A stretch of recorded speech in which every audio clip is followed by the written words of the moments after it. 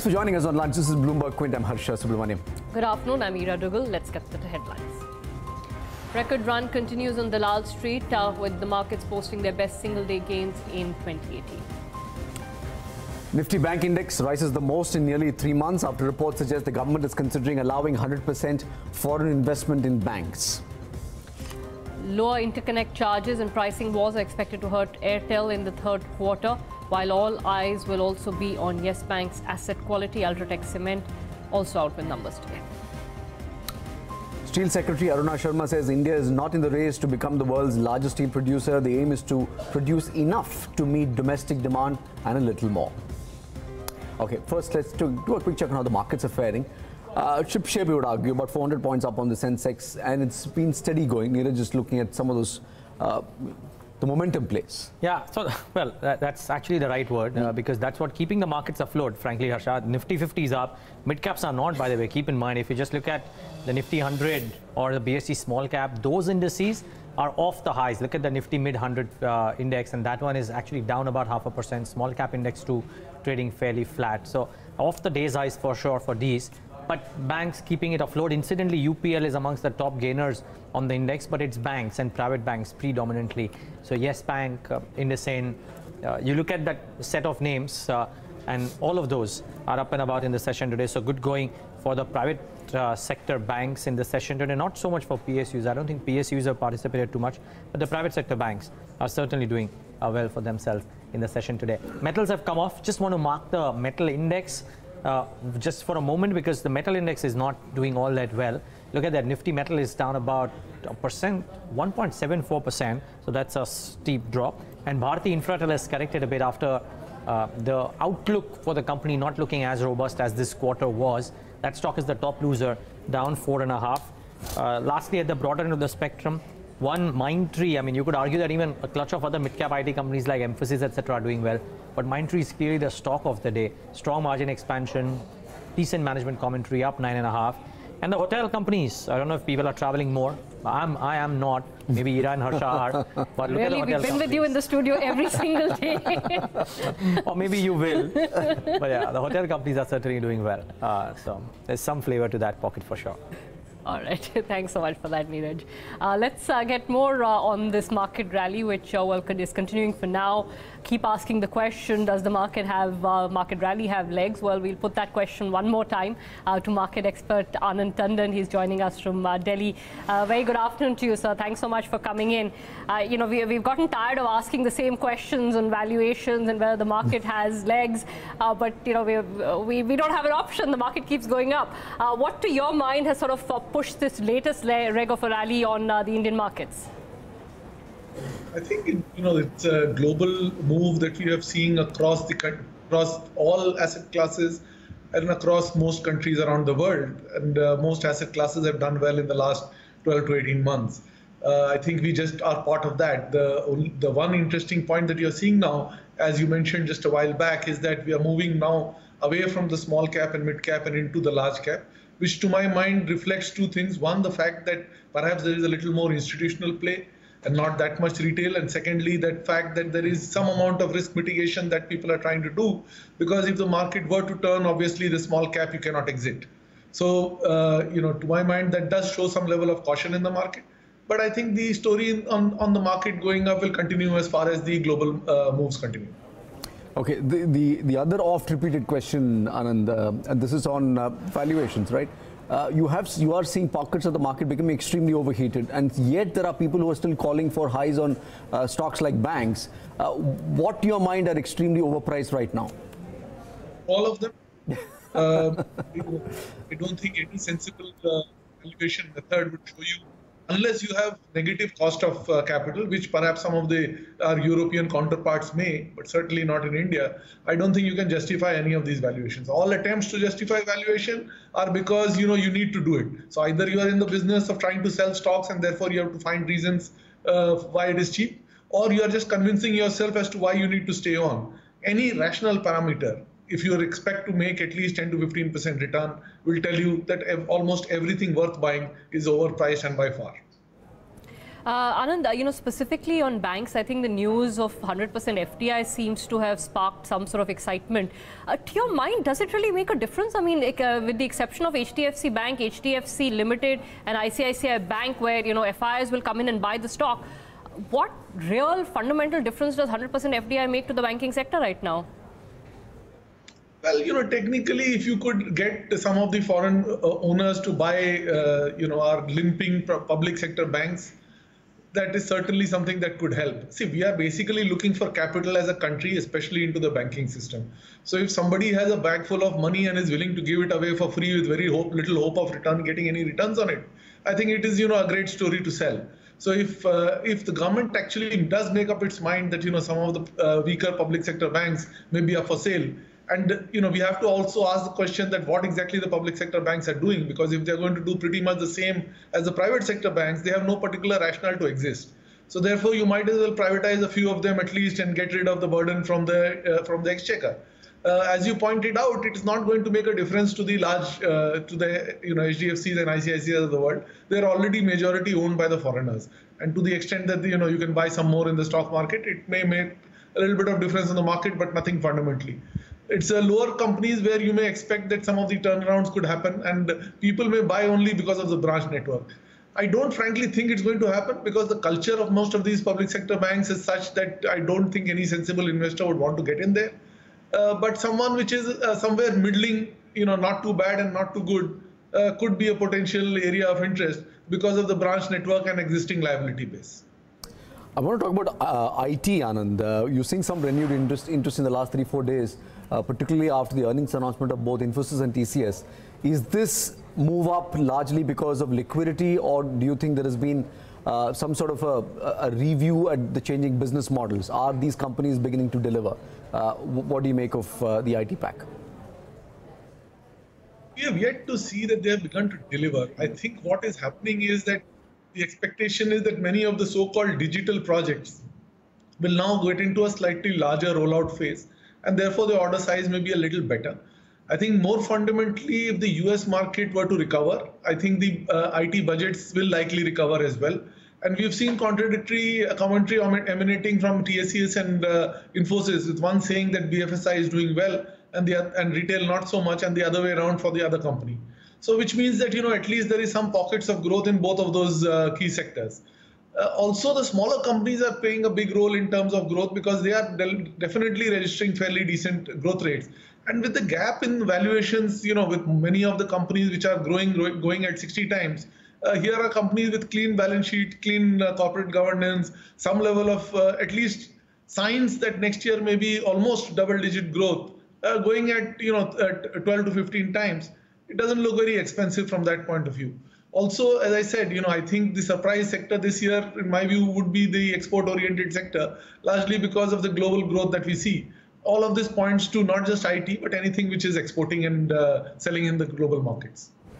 Uh, what about uh, the rural domestic story, Anand? Uh, you know, uh, the HUL numbers were of course good, although I know there's a base effect on the volume, etc. Uh, but on the assumption that some of the issues we had with rural growth start to get resolved, uh, could some of these domestic non-consumer durable plays start to come back as as preferred bets? Actually, that's a done to death story, and I think it will continue as well because yes, clearly the government has to make sure that there is more money in the rural areas. Also, the other thing is, uh, especially things like FMCG benefit whenever the inflation cycle goes positive. And we are beginning to see that there are signs of incipient uh, inflation going up, which will mean that, you know, besides the volume growth, you'll also be able to have a price growth, something which has been lacking for the last uh, a few years. So if you actually have, let's say, a, a 7 to 8% volume growth and another 5 to 6% price growth, suddenly you're talking about 14 to 15% top line. And that can justify, you know, maybe a, a, that can probably lead to an earnings growth with some um, margin improvement of almost 18 to 20%, which is a fairly, uh, you know, reasonable pace which many of the FMCG companies can go at. Uh, that said, on the valuation, I don't think any of them have major scope to uh, surprise from here. But at least you know they will uh, put a floor as to where the valuations can be.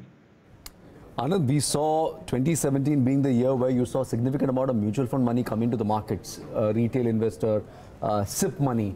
Uh, what would what would be your advice to a retail investor looking at the valuations of today? Should he stay in? Should he stay out? Should he book some profit and get out? Uh, people who want to invest into the market, what would be your advice?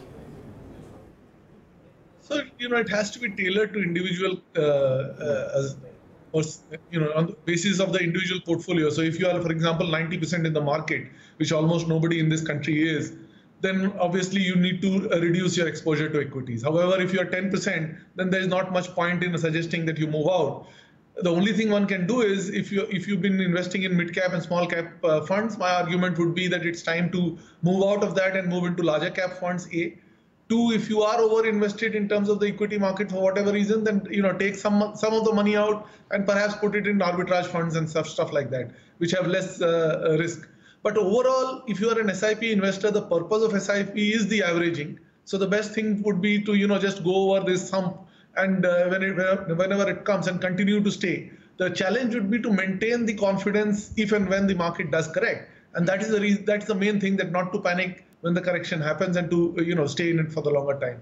So in a nutshell, SIP investors stay where you are. Otherwise, move from small cap to large cap. And if you are really over invested, as I said, very few people are. Then you know perhaps take some money off and look at arbitrage funds. I don't believe it there. Thank you so much indeed, Anand Tandon, joining us uh, to give us a sense of where the markets are and what what should one be doing. Uh, what's driving the rally over the past two days is the bank nifty, as we mentioned. Uh, more so after some reports suggested that the government is mulling 100% FDI in the banking sector. This has also taken HDFC Bank's market cap to 5 lakh crore. Jayesh is standing by. He's plotted the private sector bank's journey from less than 1 lakh crore to its current position. Jayesh.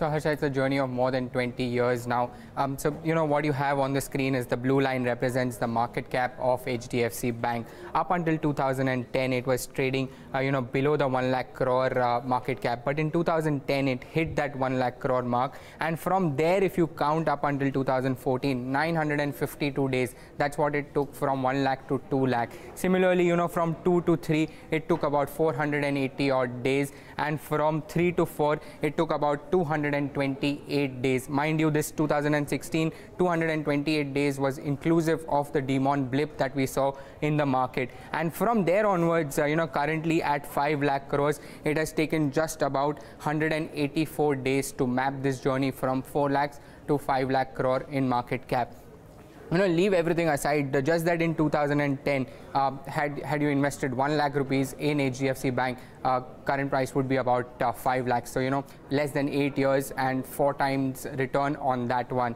Now, uh, you know, we try to map the valuation price to book uh, parameter that is a most popularly used uh, metric that people look at. Uh, what does that indicate? So, it's a 3-year chart of the actual price to book versus the 1-year estimate price to book on the Bloomberg terminal. So, you can see that the white line, which is the actual price to book, currently at about 5.4 odd levels. But historically, it has been in the higher range, you know, more than 4, 4.5 odd levels. And if you look at the blue line, which is the estimate PE, now, you know, that is actually below uh, the price to book, sorry, that is actually below the white line, which means that when you are buying for the future, you are paying less premium or, you know, uh, you're buying it at a lesser valuation for the future um, for HDFC Bank.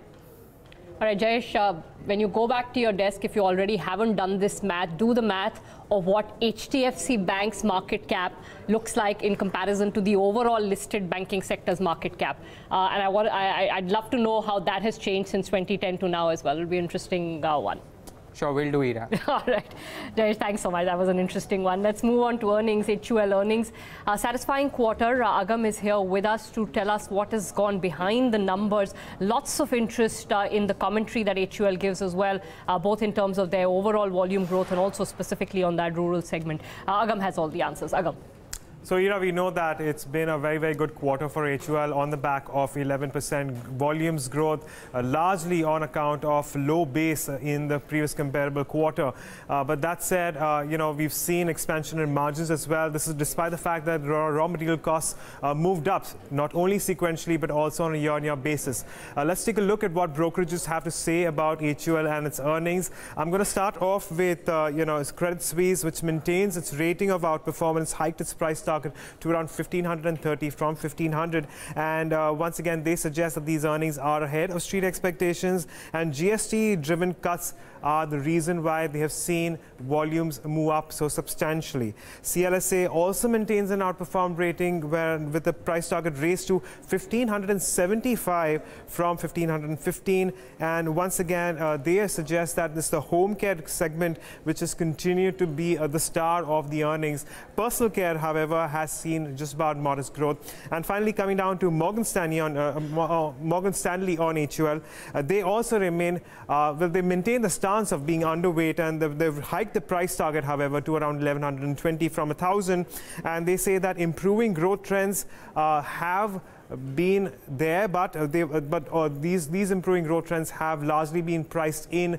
by the up move that HUL has seen in the recent few months, and the quarters suggest a gradual volume recovery. And should we not see this volumes, you know, recover sharply, there where it could face there could be a case of derating for HUL. So largely positive views, and all brokerages that I have been through have increased the price target on HUL.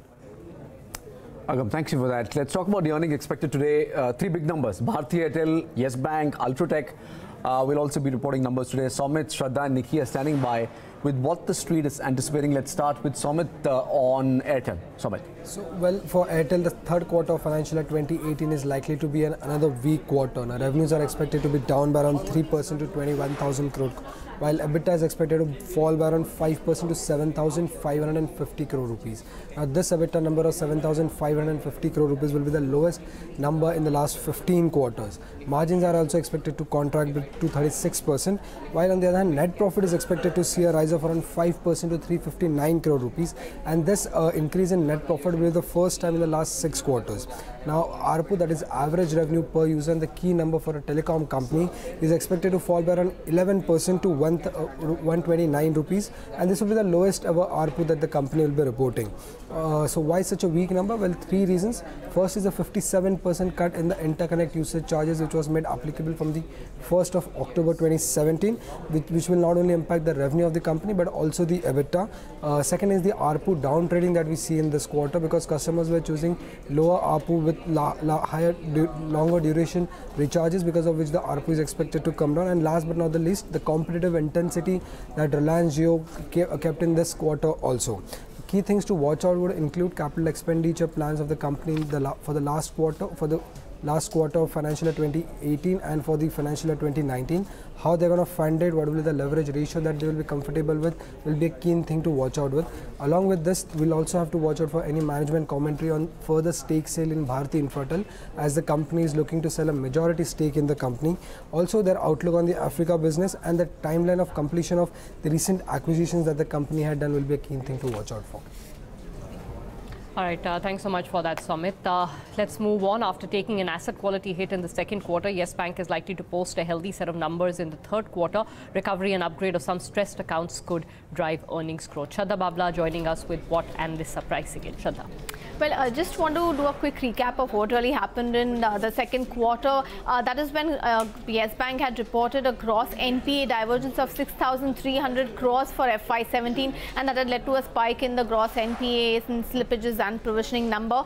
Um, having said that, there was also some uh, comfort, however, on Yes Bank's um, resolution capability because the 6,300 crore number as of March 17 was down to 1,200 crores as of September 17 and our, uh, and the bank had also said that they have already absorbed this um, uh, impact fully in the second quarter itself and they'd also maintained the credit growth guidance for FY18. Uh, having said that, um, uh, with respect to their NCLT exposures, the bank had already said that the provision uh, cover uh, for the first list exposures to that 50% and 39% from the funded exposure exposure to the second list. So with, with that backdrop, what is expected in Q3? Well, as far as the operational performance is concerned, that momentum is expected to continue. But yes, all eyes will remain on um, seeing if the asset quality de deterioration in Q2 was a one-off or uh, not. So net interest income has seen 28% higher. Net profit has seen 20% higher at 1062 crores. Net interest margins are expected to remain flattish around 3.6 to 3.7%. Loan growth expected at 30% and no major negative surprise is expected on the asset quality front because most analysts that I spoke to believe that whatever had to come through had come through in the second quarter itself. So important to watch, uh, of course, apart from the asset quality, any revision in management's guidance uh, with respect to the credit cost for FY18, uh, continued traction in CASA and also continued business growth momentum. So broadly, it's the credit cost guidance and comfort on asset quality which could really drive the stock at least, uh, you know, if the, all of this is in line this quarter. Shraddha, thank you for that. Uh, from the cement space, Ultratech will also be reporting third quarter numbers. Uh, Nikki is standing by with the broad expectations. Hi, we're expecting a good 27% uh, jump in the top line numbers for the revenue uh, at a number of more than 7,000 odd crore. In terms of operational performance, we're looking at a 20% jump there at a number of 1,300 plus crore. Margins are expected to remain stable at 20 odd percent, while your profitability that is expected to decline by 24% year on year basis to a number of around 428 crore. Um, what goes behind the making of the number? We're expecting volume growth, uh, the key parameter here. We're expecting that growth growth to come in at 13.9 MT, indicating a, a good 22% growth year-on-year basis. But that's on back of acquired JPA volume growth. If you strip that number off, we're looking at a number of 8% year-on-year basis. Now, your higher cost, along with the consolidation of JPSS, has what has weighed into the operational performance. As we can see, some kind of decline coming in on EBITDA per ton on year-on-year basis. This combined with your higher uh, finance cost, along with your depreciation, is also expected to weigh down on your profit profitability, thereby bringing it lower by 24%. In terms of the key things that we like to keep an eye out will be your pricing and your volume uh, scenario. Along with that, we like to assess the cost pressures and also the capacity utilization for JPSS, which is expected to be a little over 40% in this quarter. All right. Uh, thanks so much for that, Nikki. Those are the earnings that we are waiting for. Uh, India is on track to achieve its steel production target of uh, 261 million tons by 2020, says uh, Steel Secretary Aruna Sharma, speaking to Bloomberg News' uh, Archana Chaudhary. Uh, she says India is in the race with China, but will look to cement its position as number two producer of steel. Listen into a slice of that conversation how India is expected to fare in the coming fiscal year and what you're expecting uh, in terms of steel uh, consumption as well as output. India is on a growth trajectory uh, in the steel sector and definitely coming year will be more of a consolidation and creating platform for the next jump. And that is how it will be proceeding both as far as the production is concerned yes. as well as consumption is concerned.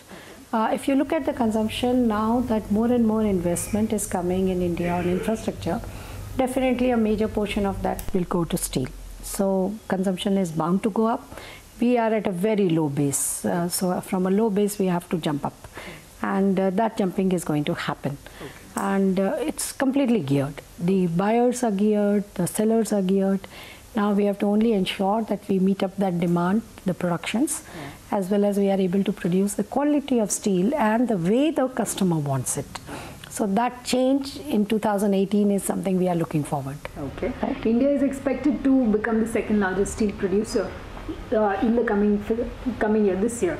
Uh, what kind of uh, changes are you seeing and how are you seeing the sector uh, you know grow i mean in terms of output in terms of numbers can you give us some yeah surely because becoming second largest producer uh, the Japan and us, we are always neck to neck. Sometimes they are ahead, sometimes we are ahead. Yeah. But yes, we will consolidate ourselves very soon, being the second largest producer. But we'll be far behind the first largest producer, that is China. Yeah. And we don't even plan to compete with it because they have a capacity or they are they will plateau at a capacity of 700 to 800 million tons, mm. which doesn't make sense because we will be creating global distortions in case India even think about it. So the best platform to settle will be 300 million tons for India in coming 10 years because that will be our requirement and India can continuously year on year absorb that kind of a finished product. So that is something which will be very stable and uh, which will not distort the world market, which will cater to the domestic market requirement and sustain at that level. So that is what we are targeting. And what you asked for the figure, yeah. So 126 million tons. This year, hopefully, we will touch 100 million tons of production. Okay. Uh, in the calendar year, uh, January to December, we seem to have touched that number. Okay. But uh, April to March, let's see how it figures out. And uh, it should figure out because month-wise production is going up. Yeah. So I think maybe in April we will be in a position to tell you have we touched that uh, 100 million ton figure. Okay, because we're expected to rise up to 108 million tons at least in this calendar year.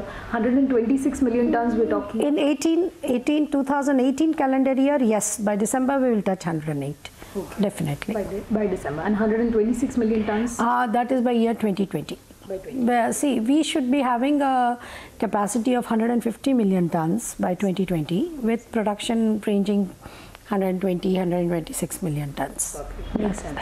Uh, also, ma'am, as far as our biggest um, uh, state-owned company, SAIL, is concerned, there has been restructuring going on at SAIL and their three units have been uh, put up for disinvestment. Could you tell us more about what's happening on that?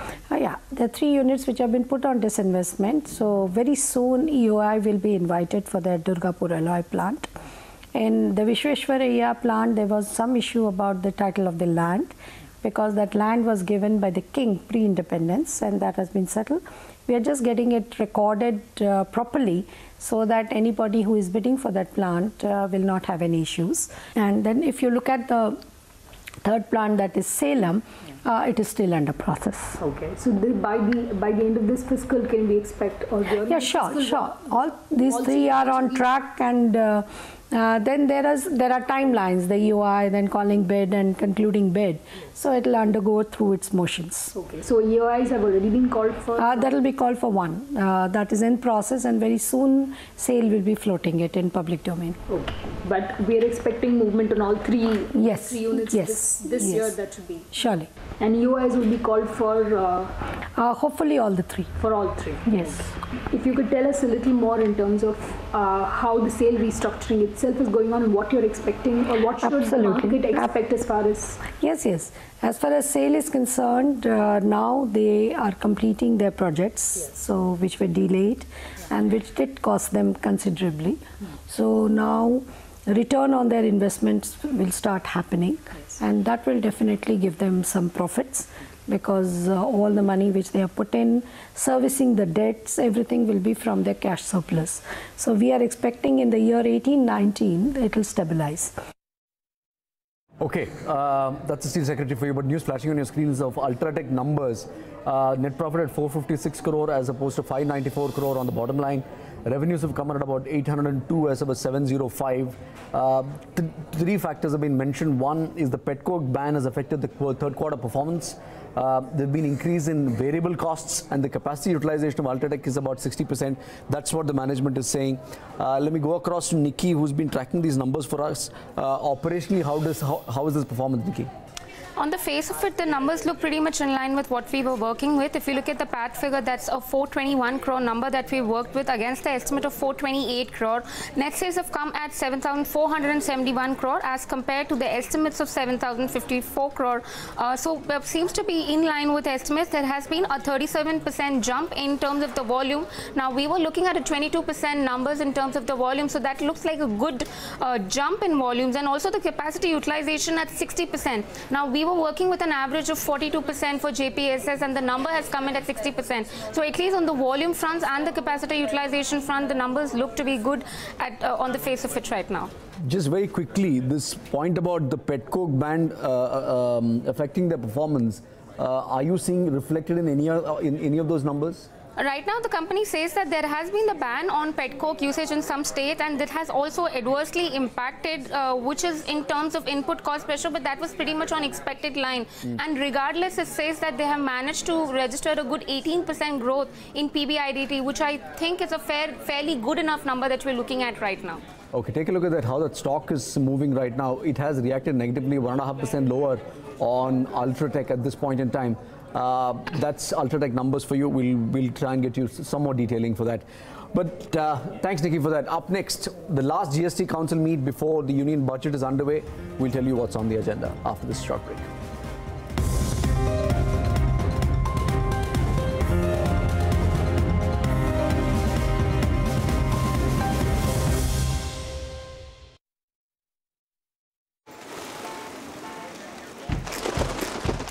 What do we want from our country today? From the economy, from the politicians, the policymakers?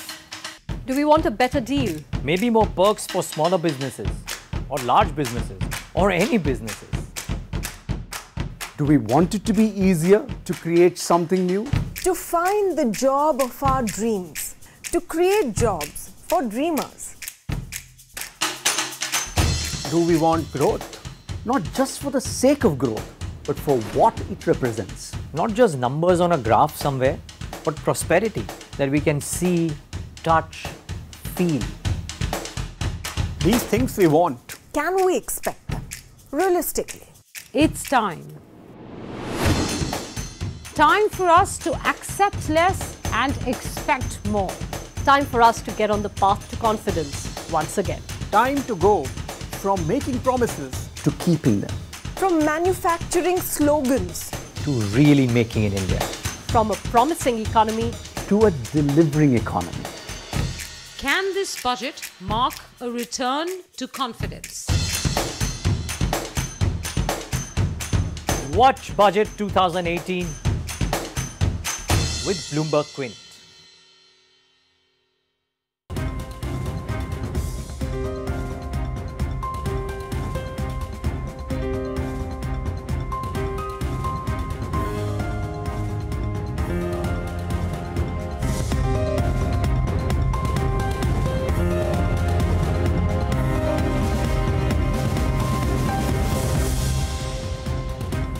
Welcome back. Uh, you're watching Power Lunch. Let's get you the headlines at the half hour. Markets add on to Wednesday's stellar rally and trade at yet another record high. Bank Nifty rises the most in nearly three months. In its last meeting ahead of the Union budget, the GST Council will meet to discuss a slew of changes in the GST law along with some tweaks in the tax rates. Supreme Court clears the decks for an all India release of the controversial movie Padmaavat as it stays notifications by various states banning the Bollywood movie. Let's take a closer look at the markets. Uh, the momentum continues, although you're seeing mid caps facing the heat, and particularly some of the smaller pockets of the market. Uh, Pradeep is here with some of those uh, key movers. Yeah, so as you clearly pointed out, you know, it, it's kind of a double coincidence that last two days of weekly bank expiry and you have one news after the other. So focus is completely on banking. But mid caps didn't hold on at higher levels, and that is very significant because uh, traders are not really confident at current levels. We, we've seen a rally which has overstretched, and some of the brokers that I've been talking to are also, uh, you know, thinking in terms of risk management, as, we have been uh, highlighting that volatility is the most important thing to watch out for. So brokers whose whose margins and capitals are at stake. Uh, here on, what, what uh, you know, some of uh, the dealer friends and brokers tell me is that going forward, gradually there will be there could be tightening on, on margins, and everybody is aware of it. So, uh, so some traders are booking profit at higher levels if they have to, you know, meet the requirements and, and they have to liquidate some of their positions. So that is what is happening, and uh, that is not that much confidence. So the entire activity is focused uh, in one particular sector that is banking and maybe a little bit was focused on IT but interestingly you look at it uh, uh, you know IT index corrected quite a bit today. So maybe some money has moved out of that sector as well because there are uh, some of the more attractive ideas now the pro cyclicals that have come into focus. Uh, now uh, that is more of a rotation than the fresh money coming in in, in that case. So what is happening today really is a little bit of churning some cautious profit booking and only some a few companies in mid cap space are getting rewarded for good numbers that they have reported. So you have likes of uh, you know Mindtree or the Rumalai chemical that is doing well. But oh, uh, you know in, in all if you look at the broader market uh, uh probably traders are not not really confident of um, uh, getting into fresh positions now Pradeep, thanks so much for that. That's the market. Uh, this afternoon, uh, despite the 35% run up in 2017, Indian markets are in fact cheaper than some of the Asian peers. That's the word coming in from Manishi Raychaudhuri of BNP Paribas. As the market rally continues, Manishi expects some of the underperformers of previous years uh, to make a comeback. Listen into a slice of that conversation. India, despite this heady rally of about 35%, actually underperformed MSCI Asia Japan. In that year, China, MSCI China uh, moved up about 55%. Korea, both KOSPI and MSCI Korea moved up close to 45 to 47 percent. So India, despite this massive rally, was actually underperforming, and therefore it turned a little cheaper compared to its peers from the beginning of the year to the end of the year. We believe that yes, I mean India continues to trade at a premium that's possibly a little less than one standard deviation above the mean, the long-term mean today, which means that yes, the premium exists, but it's possibly not egregious. Now, having said this, I must sound a, a bit of cautionary note at this point of time. In the other parts of Asia, particularly North Asia, this massive rally has been underpinned by strong fundamentals, which have translated into earnings estimate increases. Asia ex Japan consensus EPS moved up about 15 to 20 percent last year, driven largely by Korea, by Chinese financials and Chinese tech. Now, Chinese financials joined in towards the end of the year.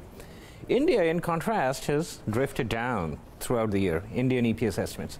So, for this rally to continue, for this rally to become stronger, we would need to see a reflection in the consensus earnings estimates for India, which haven't reacted till now, you know, except for a few small pockets like materials. You know, the metal companies have been doing well, etc.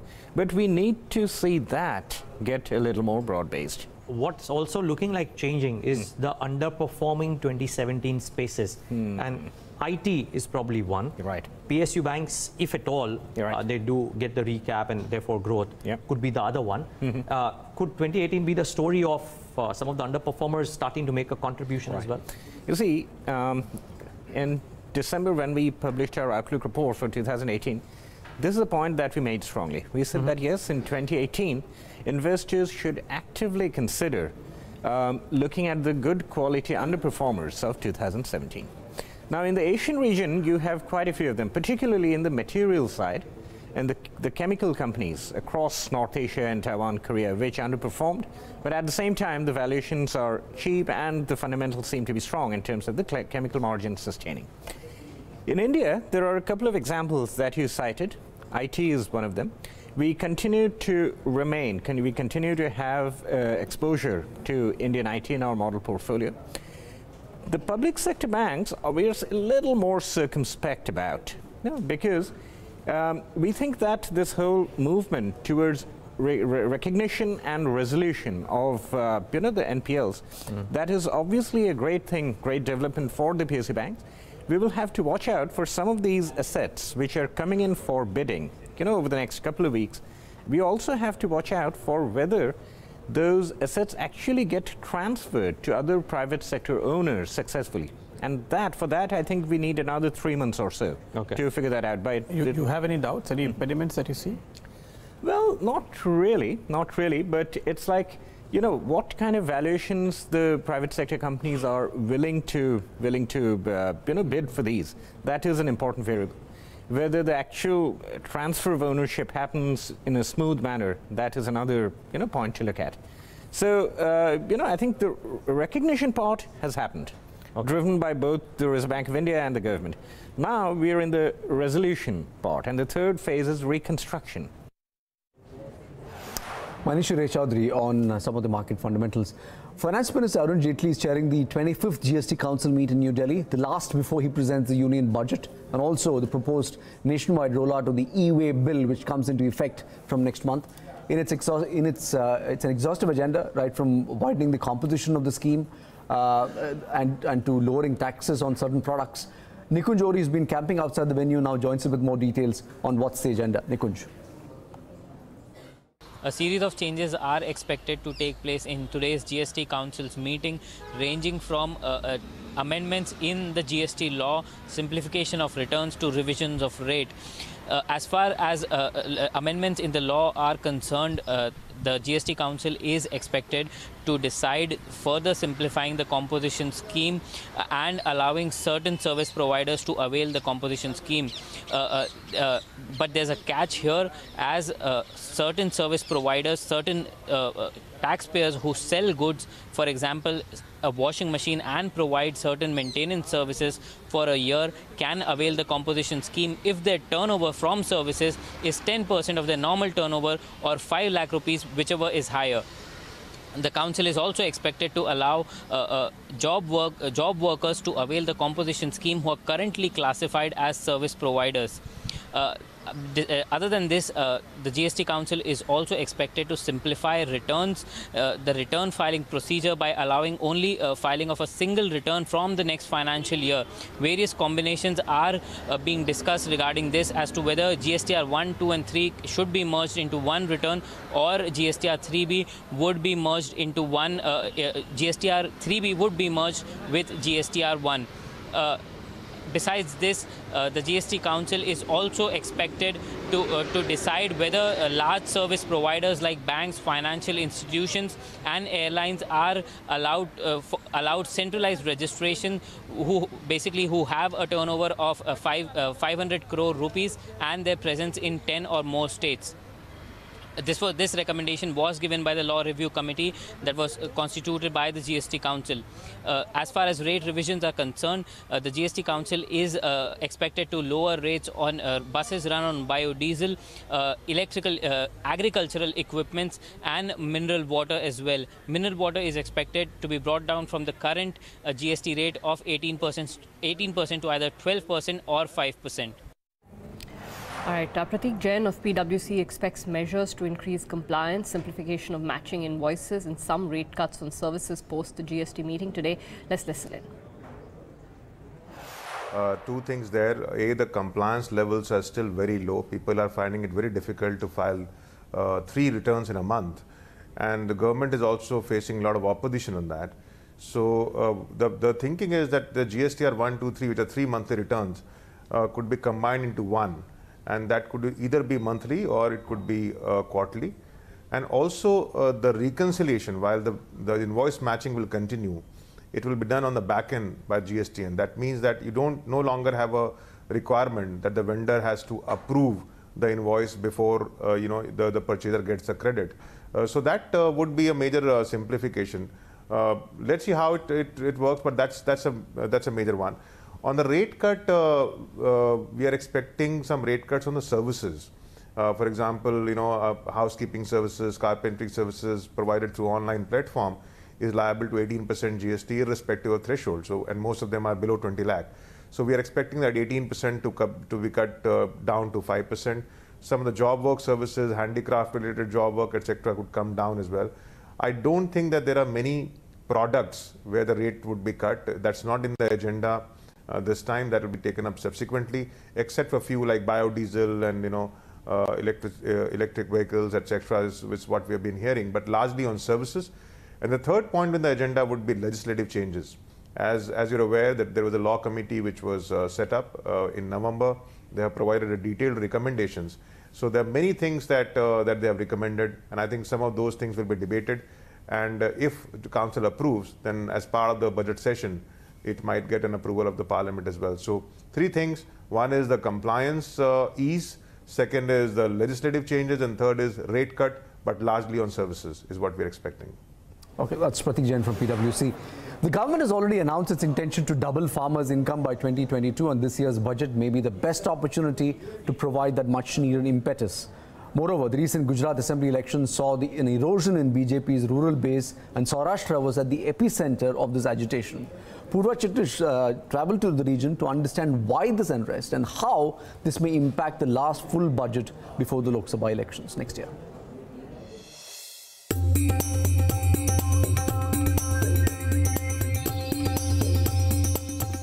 This time last year, Bipin Bhai's farm donned a blanket of white and he produced 600 kgs of cotton. But this year, the story is different. 50% of the cotton on his one hectare farm in the Amreli district has been attacked by pink bollworms.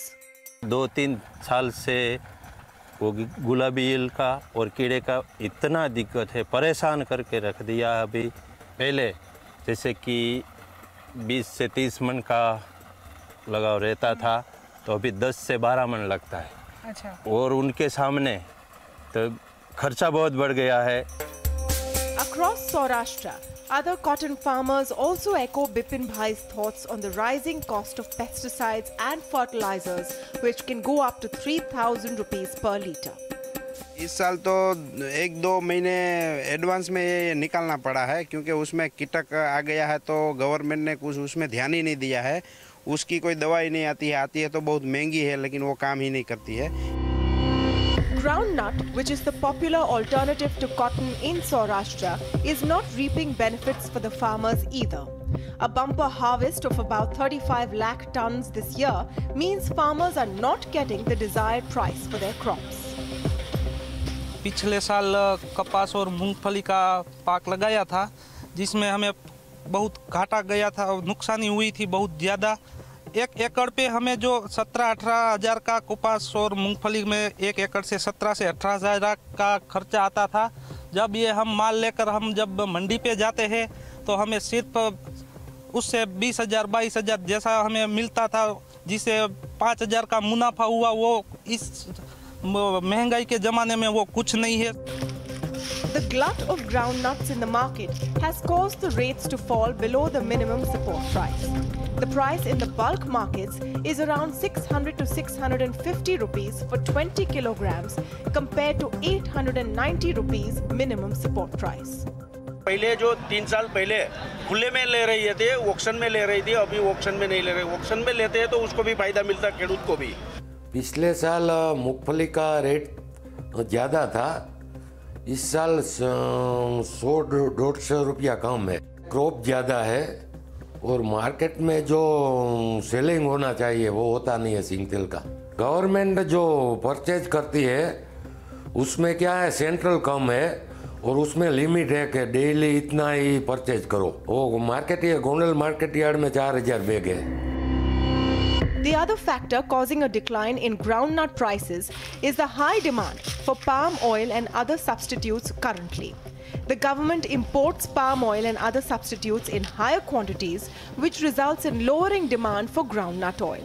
In November, however, the government hiked the import duty on edible oils to 15%, and brokers and farmers hope this will improve the current situation.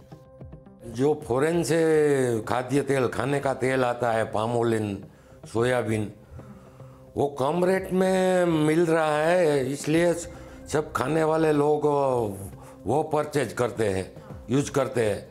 अगर जो foreign से यहाँ import होता है तेल, उसके ऊपर government duty डाल दे, और सिंग तेल और ये तेल का जो रेट है वो इक्वल हो जाए तो फिर क्या है, ये मूंगफली का भाव भी मिलेगा और किसान को भी लाभ होगा।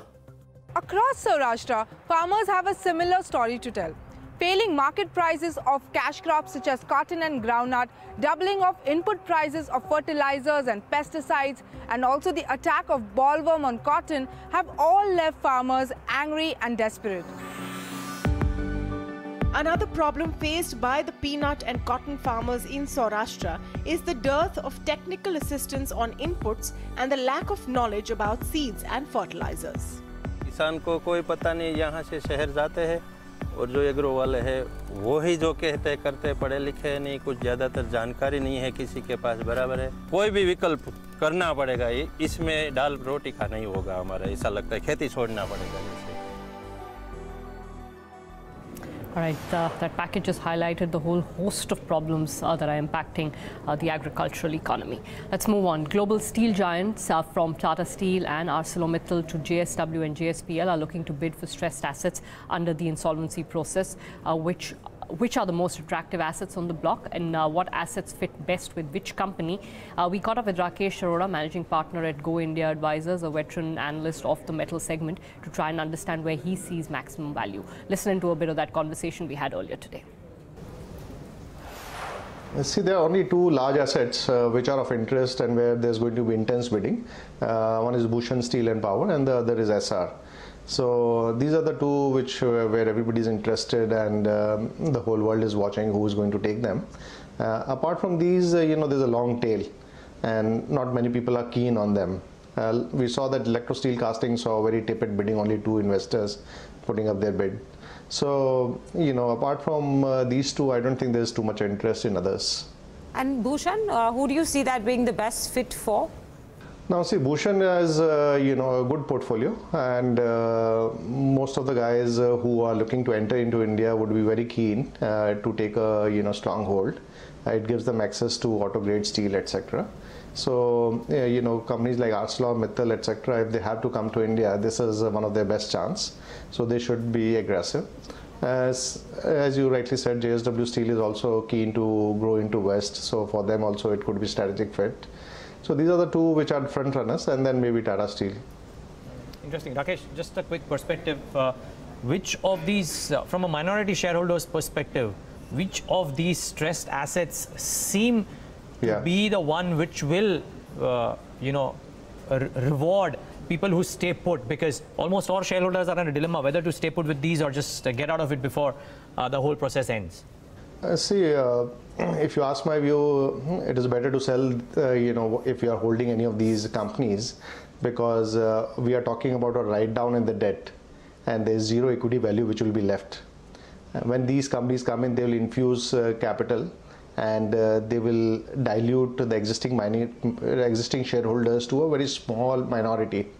So I don't think they will, uh, you know, get that much value, and then they will have to wait for things to turn around and all that. So right now it makes no sense for uh, you know shareholders to own any of these companies. Uh, you saw what happened in Electro Steel. The debt is around uh, eight to ten thousand uh, crores, and the bids are only for 4,000, 5,000. So it makes no sense uh, for uh, any of these uh, equity holders to stay put. Uh, One of the finer projects is the Essar Steel one. You, you said you expected it to be, uh, you know, a highly competitive bid process that will take place. Uh, you, you think that the promoters stand a good chance, the Ruia family, to be able to reacquire the project? We heard that they're trying to deploy uh, interesting, innovative structures to be able to do so. Uh, what's your take on who might end up with Essar or who should end up with Essar? Uh, See, nobody knows the projects better than the existing promoters, so they can actually bid at a much higher level uh, because they don't have to plan for contingencies which other players would have to do. So theoretically speaking, uh, you know, existing promoters, which in this case Essar Group is, uh, you know, favorably placed if they are allowed to bid and they can bid. Okay. I think uh, Neeraj is a question on cement. Yeah, Rakesh, I'm just expanding the scope. Uh, one last question from my end. Uh, Binani Cement interested me simply because now, aside of the uh, entrepreneurs bidding for it, uh, we also have Rakesh Jhunjhunwala and Radhakishan Damani bidding for this asset too. What do you make of this uh, fairly interesting development, if I can call it that? I mean, uh, cement has been, uh, you know, um, a darling of a lot of stock investors for pretty some time, and uh, it's been trading at crazy valuations. So clearly, there's interest uh, in cement companies. Uh, Binani per se is, yeah, Binani per se is uh, a very good asset. And um, if you look at the valuation differential between a pan-India cement company and a regional cement company, it's almost, uh, you know, 2x. So all the companies which are not pan-India, uh, in this case, uh, you know, Dalmia, Heidelberg, JSW, so they're all keenly looking to acquire this asset, and this will give them a strong foothold into uh, North region, which is landlocked and you know limestone availability is also limited. So to that extent, it makes it very attractive, and uh, that's why you see this kind of intensive uh, bidding happening. Uh, the bids that we are seeing are uh, around replacement cost, so it's not really very high, uh, but still, you know, given the euphoria around cement, uh, you know, there's so much of interest. That's views of Rakesh Arora. Meanwhile, the Supreme Court has sided with the producers of uh, Padmaavat, the epic drama, which is based on a poem which, which has been embroiled in a controversy for quite some time now. Four state governments have decided to ban the movie despite the censor board clearing the movie. The apex court today has said that the states don't have the power to ban the movie. Uh, the Quint's Abhira Dhar now joins with the details. Abhira, lots been writing on this. What are the implica- implications of this verdict?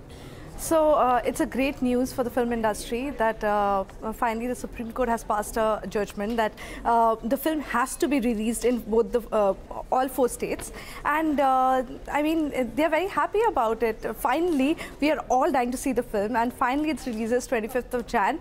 Um, it basically shows that once uh, CBFC has passed a film, uh, nobody, nobody else can ban the film. So that's what Supreme Court says. Now it's the responsibility of the state government to make sure that there is no violence during the screening of the film. So I have spoken to uh, Shyam Benegal, I've spoken to Ashok Pandit, who is also part of the CBSE, Ashok Pandit. So they also told me that it's a great thing. You know, people need to understand that once CBFC is a, a board that has been made to take care of this, so that uh, they pass the films which are under a certain section and they will be taking care of everything. So once CBFC passes something, you cannot go and ban it. And that's exactly what Supreme Court said, that Supre uh, CBFC has passed it and that's it. Uh, this uh, will go on for All India release on 25th of Jan. That's great news for us. 25th of January is the day the film releases. Abhira, thank you so much indeed for joining us. Thank uh, From the world of uh, cinema to, to cricket, uh, I mean, Team India's disaster showing in South Africa, there's something to cheer about. Virat Kohli, uh, the Indian captain, has been declared the one-day international cricketer of 2017 by the ICC. This is Kohli's second win in the category. The first one was way back in 2012 when he became the youngest cricketer to win the title at the age of 23. In addition to this, Kohli has also been awarded the Sir Garfield Sobers Trophy, an award that ICC bestows on the World Player of the Year. Kohli's had a prolific 2017. He, saw, he scored about uh, 1,460 runs in 26 one-day matches, average of close to 77 runs per match. He also scored, a, scored six one-day centuries that places him behind Tendulkar on the list of the most centuries in one-day internationals. We hope that the luck that uh, Kohli has been going on uh, rubs off on the team as well, which has had a pretty disastrous tour otherwise. all right, I take your word for it. That's all the time we have on Power Lunch. Thanks so much for watching. Thanks for watching. Countdown is up next.